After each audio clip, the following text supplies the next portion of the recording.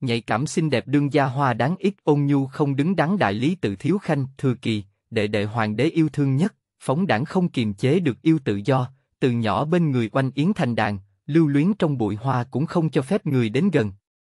thừa kỳ cũng không nghe diễn, không biết từ ngày đó trở đi cả ngày đi xem tên hoa đáng ngọc nô thần bí động kinh thành kia hát khúc.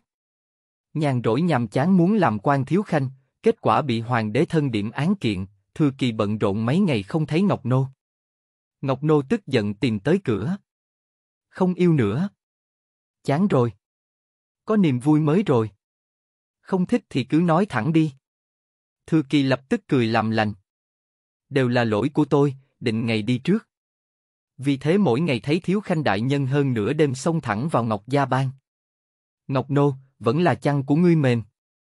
Chương 1 Mật thất treo thi án, 1 Treo xà tự vận bạn đang nghe tại truyện chấm audio. Đã có lỗi xảy ra trong quá trình lấy test. Chương 2 Mật thất treo thi án, 2 Bị người siết đánh chết.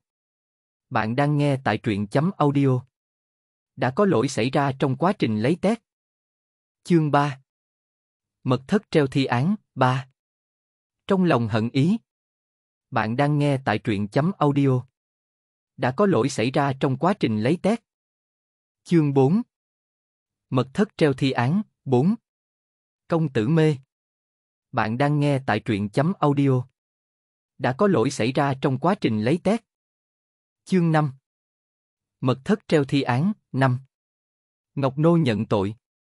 Bạn đang nghe tại truyện chấm audio.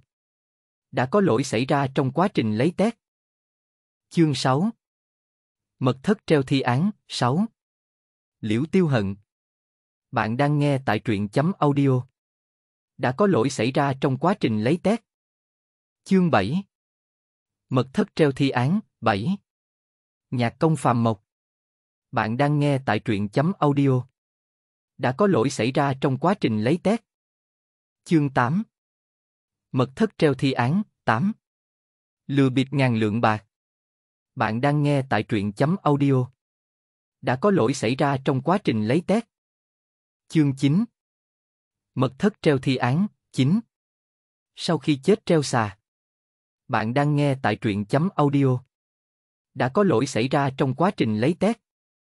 Chương 10 Mật thất treo thi án, 10 Đêm qua thơm.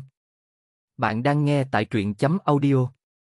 Đã có lỗi xảy ra trong quá trình lấy test.